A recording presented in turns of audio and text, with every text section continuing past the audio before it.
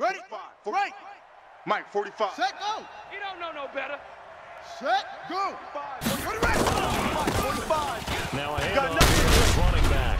You got And nothing. some room to maneuver. It's a foot race. The 30. Past the 20. And he is into the end zone for a Denver touchdown. Oh, yeah, that's a score on you. That's how you big score on play you. there. 72 yards. And the Broncos able to show off their quick strike ability.